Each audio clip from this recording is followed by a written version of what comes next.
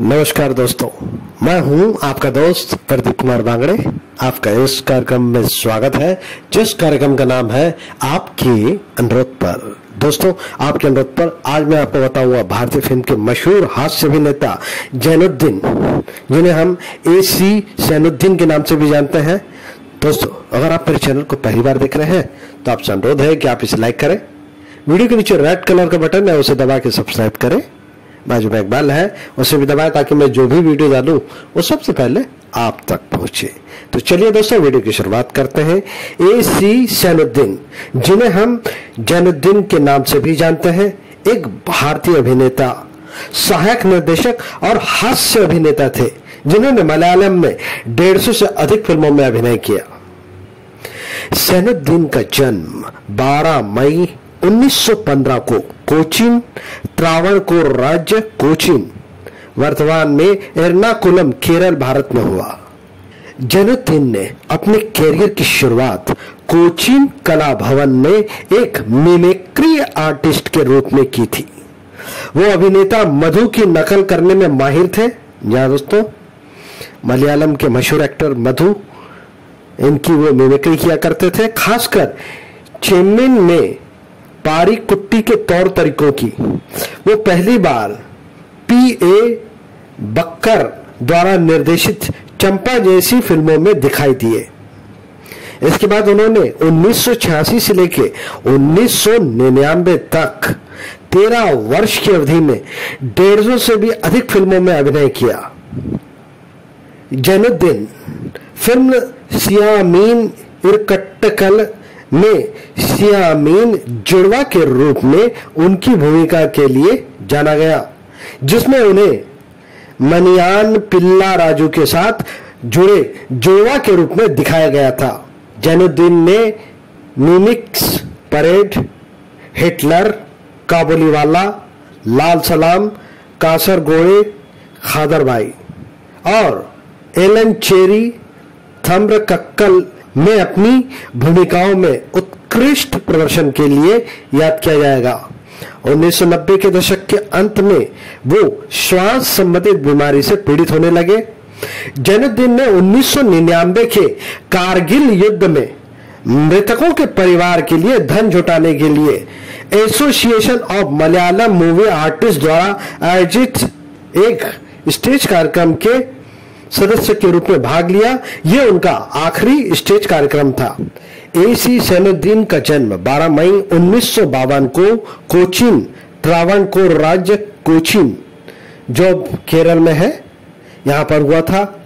जैनुद्दीन की शादी उन्नीस सौ बयासी में लैला से हुई, जो government vocational higher secondary school में हिंदी शिक्षक के रूप में कार्यरत थी।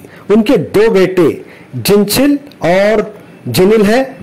जिनसिल ने एमए पूरा किया, उन्होंने अनफिया से शादी की और उन्होंने मलयालम फ़िल्म पुथुमू खंगल 2010 में अपनी किस्मत आजमाई। वहीं जिनल ने कंप्यूटर इंजीनियर में स्नातक की पढ़ाई पूरी की। जिनल जैनुद्दीन ने अर्जुन अशोकन के साथ 2014 की Malayalam film to let Ambadi talkies में अभिनय की शुरुआत की। 4 नवंबर 1999 को कोचिन के एक निजी अस्पताल में श्वास संबंधित जटिलताओं के कारण उनकी मृत्यु हो गई। मृत्यु के समय उनकी उम्र सैतालीस वर्ष की थी। उनकी आखिरी फ़िल्म थी एजू पुन्ना थरकन दोस्तों, एक बार संक्षिप्त में फिर जानकारी देना चाहूँगा मैं आपको। जैनुद्दीन एक मिमिक्री आर्टिस्ट थे अभिनेता के रूप में लगभग तेरह वर्ष तक मलयालम सिनेमा में काम किया। उन्होंने अपने करियर की शुरुआत कला भवन में मिमिक्री आर्टिस्ट के तौर पर की। उन्होंने उन्नीस में आई माई डियर कुट्टी चथानी से अपने फिल्मी करियर की शुरुआत की। जैनुद्दीन के फिल्मी करियर की सबसे उल्लेखनीय भूमिका फ़िल्म सियामीज ट्विंस में थी। जैनुद्दीन ने फ़िल्म में मनियन पिल्लई राजू के साथ जुड़े हुए जुड़वा बच्चे में से एक की भूमिका निभाई। सैनुद्दीन के करीबी दोस्त में से एक, रफीक जलील फ़िल्म के पटकथा लेखक थे। रफीक जलील का कहना है कि जैनुद्दीन एक सहकर्मी और भाईचारे वाले दोस्त थे। उन्हें कभी नहीं बुलाया जा सकता। रफीक जलील बताते हैं कि जैनुद्दीन मेरे घनिष्ठ मित्र थे। मेरा नाम जैनू, हम दोनों कोचिन से हैं। ये कला भवन आने से पहले का रिश्ता है। हमने कई स्थान में एक साथ अभिनय किया। उन दोनों ज़्यादातर शाम को हम कोची और उसके आसपास घूमते थे और फ़िल्में देखा करते थे। हम दोनों वास्तव में फ़िल्म के लिए कुछ करना चाहते थे।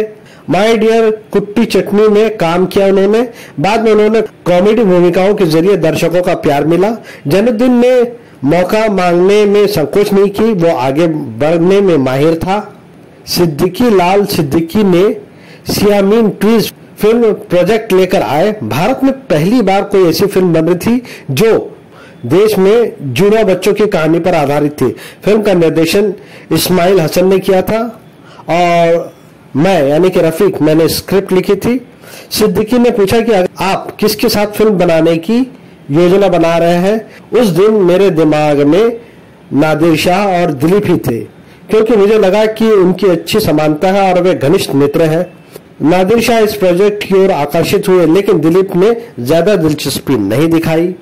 ये वो समय था जब दिलीप सुपरस्टार थे। मनियन अंततः पिल्ला राजू और जनुद्दीन तक पहुँच गया। मनियान पिल्ली राजा पहले भी फ़िल्मों में अभिनय कर चुके थे, लेकिन ये पहली बार था कि जैनुद्दीन इतना फुल लेंथ रोल कर रहे थे। कई लोगों को, जैनू को ये कहकर हतोत्साहित करने की कोशिश की कि अगर उन्होंने फ़िल्म बनाई तो उन्हें सफलता नहीं मिलेगी। कई बाधा और कठिनाइयों को पार करने के बाद ये फ़िल्म पूरी हुई। 26 लाख की लागत से बनी इस फ़िल्म ने सिनेमा घरों से डेढ़ करोड़ का कलेक्शन किया। इसके बाद जन्मदिन की छवि बदल गई और उन्हें अच्छे रोल मिलने लगे। जैनू को हाल ही के दिनों में कोई बड़ी वित्तीय समस्या नहीं थी। क्योंकि उनकी पत्नी भी नौकरी किया करती थी।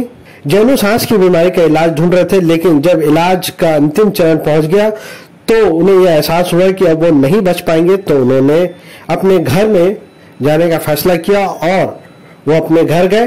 दो तीन दिन बाद ही उनकी मृत्यु हो गई।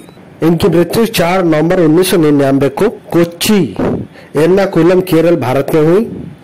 इन्होंने उन्नीस से लेकर उन्नीस तक लगातार फ़िल्मों में काम किया इनकी पत्नी का नाम लैला और इनके दो बच्चे हैं। इन्होंने बहुत सारी फ़िल्मों में काम किया तो अब मैं आपको इनकी कुछ फ़िल्मों के नाम बताऊँगा। 1980 में अपने फिल्मी करियर की शुरुआत की, जबकि उन्नीस में इनकी पहली फ़िल्म चप्पू, जिसमें इन्होंने वासु का कैरेक्टर निभाया था।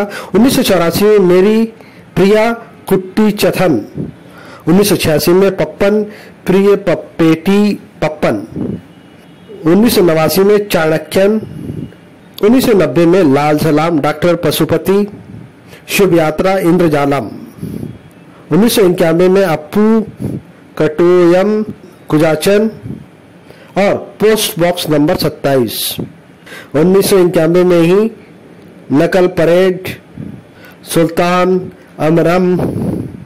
उन्नीस में पांडु पाडोरू राजकुमारी ऊटी पट्टनम उन्नीस में राजावु सौभाग्यम।